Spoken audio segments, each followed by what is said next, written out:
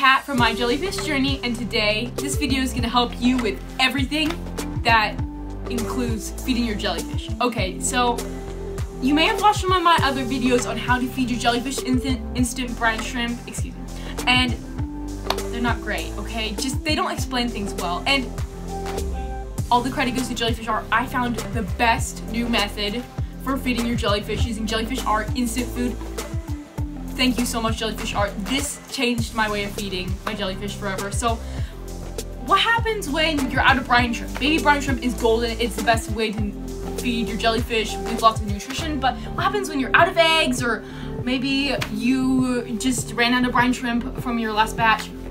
This method is going to help you using your instant jelly food from Jellyfish Art and it's going to change your whole way of feeding. No removing your jellyfish from the tank, making sure they get lots of food, and no more mess in your tank. Okay, let's get on to the video. Here we are at my jellyfish tank. These are my three lovely little jellies, and I'm gonna tell you about my new favorite way using this stuff. Okay, so this is jelly food from Jellyfish Art. It's great, super nutritional for your jellies, and it's like $10 maybe, $7 a bag. It's not that expensive, and it lasts forever, especially with this new method. And you might be asking, how much food are you feeding your jellies? I'm only using about half a scoop of this tiny little thing. Before I was feeding them way too much, but now they're just, they're thriving.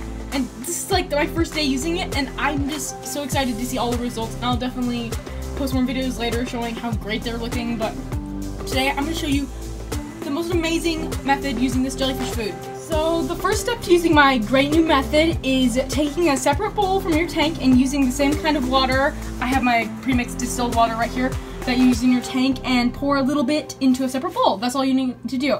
So do that quickly, just pour a tiny bit. The second step to this wonderful new feeding method is taking about a half a scoop of this tiny little scoop or to three fourths and mix it into this water. That way the food gets mixed in well there's no big clumps. It's not gonna get stuck in the different areas of your tank.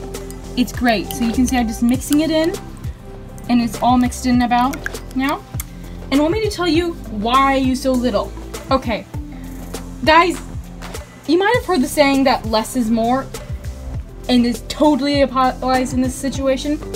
If you feed your jellies too much, they're not gonna eat all that food and all that food's gonna go to the bottom of your tank. You can see I even have a little bit right there, and it's gonna be nasty, and it's gonna hurt your jellyfish with your ammonia and nitrate and all that. So just use about a half a scoop to three fourths a scoop. Now you're gonna take your little feeding sucker, scoop, squirt some up, and I can squirt it, squirt it through the hole. And you see all the brine shrimp are distributing into my tank. My jellyfish are starting to eat it. So just suck up all the rest of your food. And my jellyfish just absolutely love this feeding method. Now, after you've squirted all your food into your tank, you can see you, I have some floating around there, and my jellyfish are just starting to enjoy it. What you're gonna do at the very end, after they've started to digest it, you're gonna clean up all that excess on the bottom, and there shouldn't be too much, but that's why you use so little. You're just gonna take this little thing, suck up the rest on the bottom, and you are good to go. Do this about twice a day. That's what I've been doing. And yeah, this is great. My jellyfish just absolutely love this.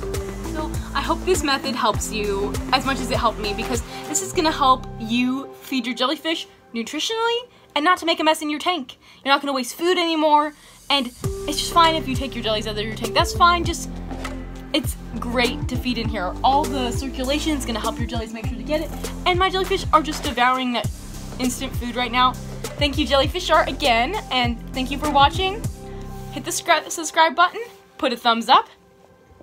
Goodbye, and thank you for watching.